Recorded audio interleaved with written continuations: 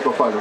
Você viu do concurso aí, você chegou hoje, viu outras corporações, você tá achando de é movimento. O concurso foi no horário, cara. Isso é raro, hein? Vai lá. Não sei porque eu cheguei agora. Cara. Você chegou em cima da hora. Se aqueceu para cá pra tocar chegou foi aqueceu no, no carro? Não, entrei aqui já na frente. Bateu direto. Tá, agora eu entendi. Vamos lá, galera. Segue o jogo.